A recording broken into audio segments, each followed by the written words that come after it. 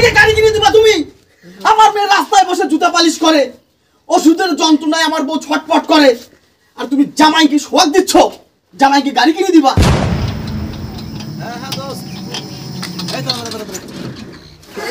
এই মাত্র নামলাম। আরে না না দোস্ত। কোনো না না কোনো সমস্যা হয়নি।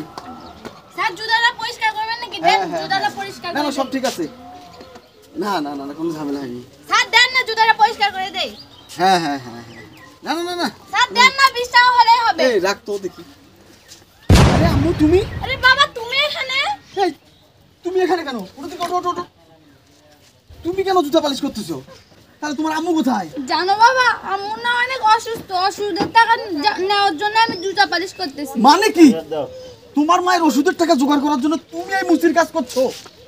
তাহলে আমি এতদিন দেশের বাইরে থেকে এত টাকা পাঠাইলাম। জানো বাবা আম্মুর উপর দিয়ে কত নির্যাতন হয় বাসায়। কি বলে বলে কি? আমি এই বিদেশ মাটিতে দিনকে রাত রাতকে দিন করে এত পরিশ্রম করে এত টাকা পাঠাইছি।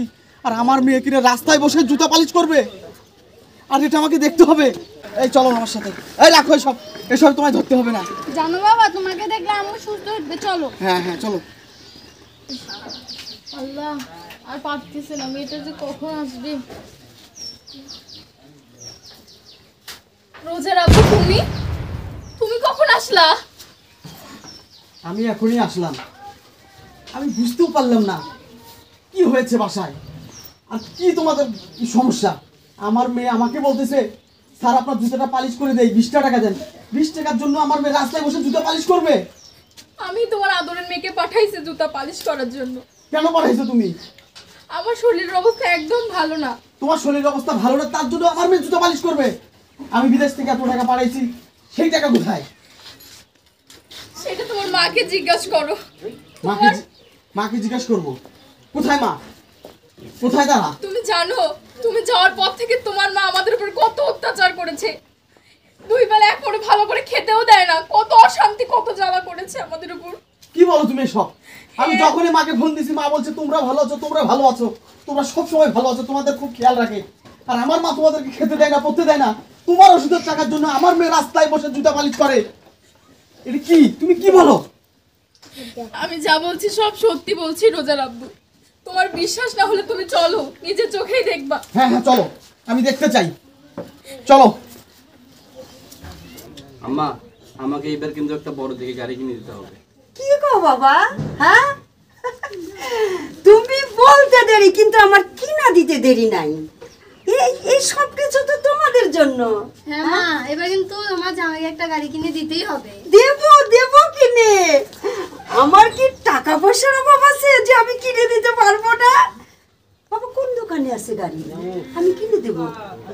আর ওই যে একটা বাসায় আছে না ওইভাবে থাকতে হবে চাকরানির মতো।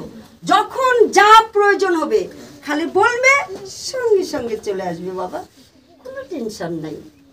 আমি চাকরানি মানে কার কথা বলতেছেন? ভাবির কথা বলতেছেন? হাই ভাবি। দিলেই তো মুখটা আমার নষ্ট করে। ভাবি কে ভাবি? তো চাকরানি ফকিন্নির বাচ্চা বলতেছে ভাবি। বাবা বাবা তুমি গাড়ি কিনে দেবো না বাবা? আমি তোমাকে গাড়ি কিনে দেবো বাবা। হাজার হলেও তুমি আমার একমাত্র জামাই। তোমাকে তো আমার গাড়ি কিনে দিতেই হবে। মা দাঁড়াও। এই বসো তুমি বসো। আরে বসো। বাবা আরে বসো না। বাবা এই তুইও বস। জামাইকে গাড়ি কিনে দিবা। জামাইকে গাড়ি কিনে দিবা তুমি? আমার মেয়ে রাস্তায় বসে জুতা পালিশ করে। ওষুধের যন্ত্রণায় আমার বউ ছটপট করে। আর তুমি জামাইকে সোয়াগ দিচ্ছ? জামাইকে গাড়ি কিনে দিবা? বাবা আমার কথাটা শোনো বাবা। এই হচ্ছে তোর বোন তোর বোনের হচ্ছে জামাই। এদেরকে বিয়ে দিছে আমি তোকে বলি। এই বাবা আমার কথা। কি শুনব তোমার কথা আমি? কি শুনব বলো মা? কি শুনব? তোমার এই আচরণে মায়ের প্রতি বিশ্বাস হারিয়ে গেছে আমার। তুমি একটা কাজ করেছ মা। বাবা তুমি তোমার মেয়েকে বিয়ে দিচ্ছ আমার কোনো কোনো এখানে আপত্তি নেই। তুমি তোমার জামাইকে সোয়াগ দিচ্ছ তা তো আমার আপত্তি নেই।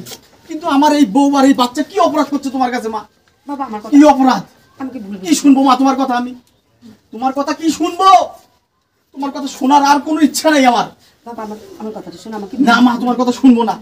তুমি আসলে মানুষ না মা তুমি আসলে মানুষ না। এতটুকু একটা বাচ্চাকেও তুমি রাস্তায় নামাইছো মা। কি বলব তোমাকে আর?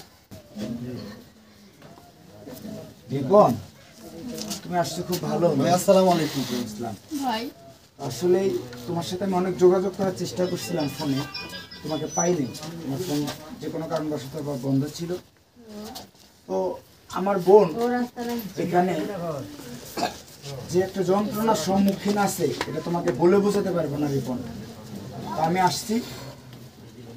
আমার বোনকে নিয়ে যাওয়ার জন্য। তোমার মা তোমার বোন তোমার বোন জামাই আমার বোনটার উপর যে পরিমাণ নির্যাতন করছে আমি আমার বোনকে এখানে রাখতে পারব ভাই। আমি আমার বোনকে নিয়ে যাব ভাই। ভাই আপনি আপনার বোনকে কেন নিয়ে যাবেন ভাই? আপনি শুধু আপনার বোনকে কেন নিয়ে যাবেন? হ্যাঁ, চল। আমিও যাব ভাই। মা তুমি থামো। মা তুমি থামো। আমি বিদেশে এতদিন থেকে যা কামাই করেছি যত অর্থ সম্পদ তোমাকে দিয়েছি সব তোমার থাক মা। তুমি তোমার বেটি জামাইকে নিয়েই তুমি থাকো। আমার কিচ্ছু চাই না। হ্যাঁ, এই চলো তোমরা। বাবা আমার মা আমি আর এক মুহূর্ত তোমার সঙ্গে থাকতে চাই না। হাই হাই রে আমার সব সব চলে গেল। হাই হাই হাই আমার টাকা পয়সা সব কিছু সব সব সব চলে গেছে। মা আমার গাড়ি? ডাক্তার গাড়ি। আমার সব গেছে আর ওই গাড়ি গাড়ি শুরু করছে। Hi hi hi. হ্যাঁ আমি কি করব এখন? আমার সব সব চলে গেছে। হাই হাই হাই রে আমি এখন কি করব? হ্যাঁ? আমার আমার সব গেছে গা। সব শেষ হয়ে গেছে। বাবা বাবা, তুই চলে আয়, বাবা। আয়, তোর বউরে আমি রাজরানি করে রাখব। খুব ভালোভাবে রাখব। আয়, বাবা। হাই হাই, রে। হাই, জামাই।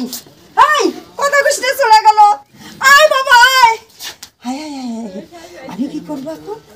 হ্যাঁ? আমি কি করব এখন? সব শেষ হয়ে গেল আমার। আয় বাবা, আয়। শাশুড়ি মা একটা কথা বলি। এই যে আপনার, এই যে আজকে এই যে বিলাসিতা, সব আপনার ছেলের টাকার জন্য। আপনি আপনার ছেলের বউকে আর নিজের মেয়েকে যে দুই চোখে দেখেন, এটা ঠিক না। মা, যদি কোনো শাশুড়ি ছেলের বউকে এবং মেয়েকে এক চোখে দেখে তাহলে সেই সংসারে কোনো দিন ঝামেলা হয় না। কোনো সন্তান তার মা বাবাকে ছেড়ে যাবে না যদি সে সুশিক্ষায় শিক্ষিত হয়। আর আপনি আপনি বিয়ে দিচ্ছেন আপনার মেয়ের সঙ্গে আমি থাকব না এই বাড়িতে আপনি আমার মেয়েকে নিয়ে থাকেন। আমি চলে গেলাম থাকব না এই বাড়িতে। জামাই বাবা যায় না হাই হাই হাই আমি এখন কোথায় যাব? কোথায় যাবি মানে? আমার সব শেষ হয়ে গেল। কোথায় যাবি কোথায় যাবি? হায় হায় হায় রে আমার কি হলো? বাবা জামাই তুমিও গেলো বাবা। হায় হায় আমি কি করব এখন? কি করব? হ্যাঁ?